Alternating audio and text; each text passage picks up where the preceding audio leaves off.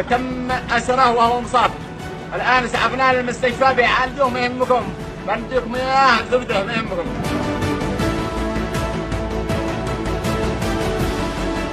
تؤكد إن هذا يوسف المداني أبو حسين. متأكد أنا مليون في المية. هذا جثة يوسف المداني في المنفذ السعودي. تسليمها للسلطة السعودية